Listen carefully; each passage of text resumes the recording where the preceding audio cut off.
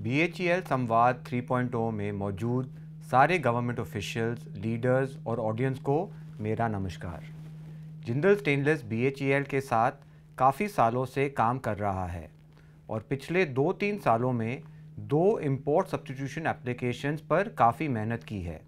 वो है C two seventy six hot roll bonded clad plates और हाई टेम्परेचर एप्लीकेशंस के लिए G R ninety one plates ये दोनों मटेरियल्स पहले इंपोर्ट होते थे। जिंदल स्टेनलेस खुद एक स्वदेशी कंपनी है और हमारा मिशन है कि देश को हम सारे मटेरियल मेटल रिक्वायरमेंट्स में आत्मनिर्भर बनाएँ।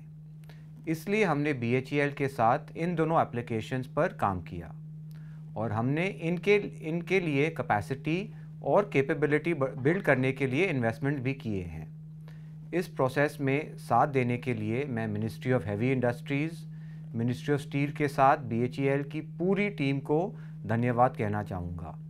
जिंदल स्टेनलेस आगे भी देश को आत्मनिर्भर बनाने के लिए कमिटेड है और उम्मीद करता है कि बीएचईएल हमारा लॉन्ग टर्म स्ट्रेटेजिक पार्टनर बना रहेगा।